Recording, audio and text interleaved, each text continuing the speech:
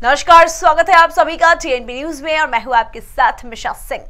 मध्य प्रदेश के शाजापुर में लहसुन की आड़ में अफीम की खेती का भांडाफोड़ हुआ है, जिसकी सूचना पर पुलिस मौके पर पहुँची। जिसके बाद पुलिस ने खेत में लहसुन के बीच से अफीम के तीन हज़ार चौसठ पौधे जब्त किए हैं। 225 किलो के इन पेड़ों की कीमत 30 लाख रुपए बताई जा रही है। फ़िलहाल पुलिस ने मामले में कार्रवाई शुरू कर दी है।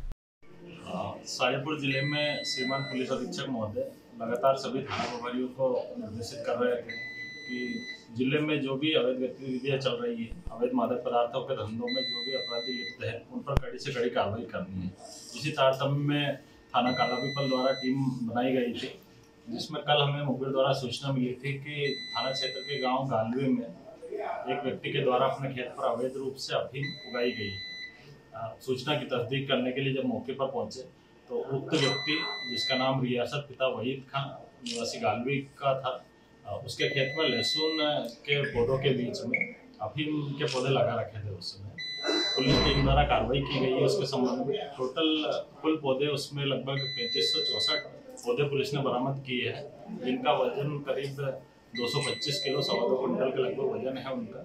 और उससे उत्पादित जो अफीम रहती, जो बाज़ार मूल्य उसका करीब तीस लाख रुपए रहता।